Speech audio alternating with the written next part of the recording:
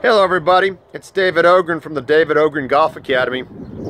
I'm sitting here at the Academy on COVID-19 lockdown and I wanted to share with you something I've, I've observed over the last few months.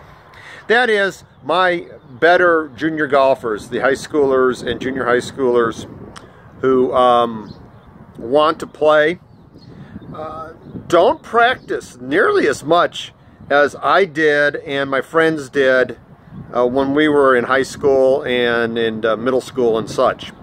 Uh, and when I talked to all of my peer group, we all had a very similar experience. That is, we played golf all day, every day. Now, I also had the advantage of not having one of these devices in my hand all day. So I would go out and play golf and I'd hit balls and I didn't have a cell phone to bother me. In fact, it was really revolutionary when I was a kid to have uh, a transistor radio out there playing WLS or WCFL with a little bit of rock and roll music. So uh, one of the things I want to encourage all of the young golfers that really, really want to be good is that you don't play or practice near enough. And here in this COVID-19 time, when it's hard to get out to the golf course, you've got to figure out ways at home to keep doing what you're supposed to be doing. I would tell you to take a lot of golf swings. Just swing the golf club.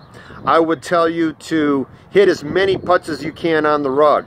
I would tell you to chip into lawn chairs and do everything you can to keep going. If you're fortunate enough to be someplace where a golf course is still um, open, go play. Go play all day.